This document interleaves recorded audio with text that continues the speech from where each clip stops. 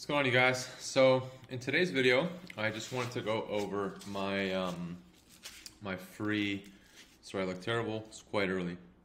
Anyways, my free uh, and pretty easy keyword research method, uh, which I'll be showing you on my site, on my, my trial site, this is PEI. So I've kind of left this actually for more than a month. I've only, I only seeded it with 10 posts. And in full transparency, actually let me um, just pause and sign in here. Yeah, so in full transparency, you can see we started posting around August 8th, and I'm just diving the full report here. And things look okay. Uh, I mean, we're stuck in kind of a downward trend for uh, for average position, but yeah, I guess things aren't looking too fantastic, but they don't look too terrible as well. Very few impressions, but for 10 posts, which are quite uh, quite competitive and quite random, for a site that really has no topical authority yet. Actually, that's not too bad for um, things to do in Charlottetown, which is the capital. Anyways, we seeded it with 10 posts, uh, then I was on vacation. I haven't even looked at it. I'm just haven't made it a priority.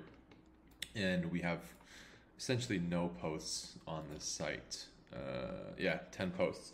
So what I want to do right now is just do some keyword research. I do have a bunch of um, research started, but there's just a really easy way using ChatGPT, um, even 3.5, that you can just find hundreds of, of key. I mean, you can go back. All right, let me just show you guys what I would do. So, uh, so on ChatGPT here is I would just, uh, what I did yesterday that worked quite well for a different website is I would do something like provide me with a list, topics, and keywords. Um, let's go with a hundred and let's go with a hundred. Let's try to seed it with a hundred more posts. Provide me with a list of 100 keywords, topic based, 100 keywords, and don't judge my prompts. I'm not as good as some of the other GPT pros.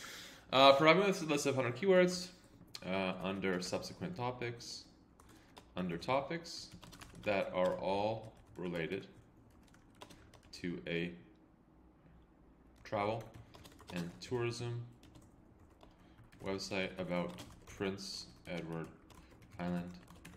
Mention a number of different topics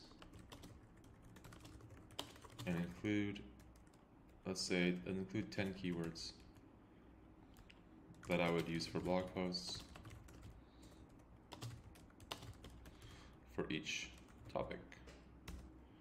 Now let's see what it bangs out. So as you can see here, it's giving you some pretty good, uh, some pretty specific and some pretty good options here. Now, just having been in the industry for quite a while, I can see that some of these are just completely pointless and not really related to kind of what I would want. Um, this is completely fine. So then I would just say, um, give me the list unformatted. Give me the list without any numbers or bullet points so I can paste it into Google Sheets. Anyways, just like that, it's like five seconds, well no, maybe like 10 seconds and you have, um, I without bullet points. Uh, just like that, you have a whole list of ideas um, from which you can start creating content from or just move forward for free.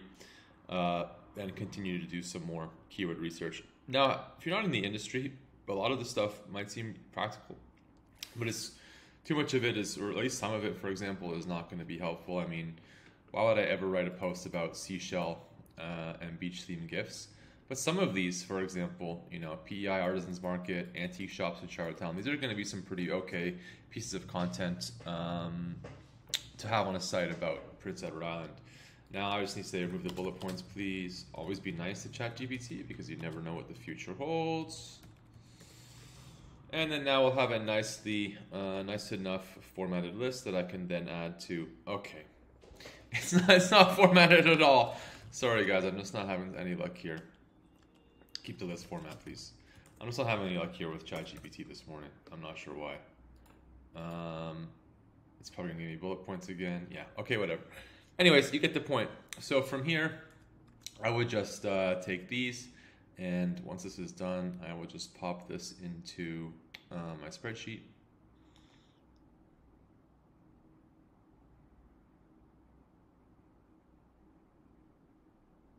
Anytime now? All right. I will just take this. Actually, I know what I can do. I'll make this really easy. Docs. Uh, that's just my prompts. So file, new document. So we can just paste this, paste without formatting. There we go. And now we have my list. Go to here, boom. Now we have the list. Okay. So now I can just basically go through and see which of these uh, I would want to, because I'm, I'm, kind of, I kind of know the niche um, a little bit. Uh, so I can just go through and see which one of these I would want to use as uh, basically as content for the site. Now, if you don't know the niche, I mean, it's just going to be a lot more difficult. You can just post all these. Uh, ChatGPT would know, like, for example, I have no idea what any of these beaches are, like um, Singing Sands Beach, right? So what you can do if you have no idea what it is, but you have an idea of your broad niche, is from here you just say, write a blog post about Singing Sands Beach PEI, because PEI is the main is the main topic, the main niche really. Um, Yeah, so I can already tell it's too kind of flowy, so I can say make it more formal and professional with helpful information for travelers to PEI.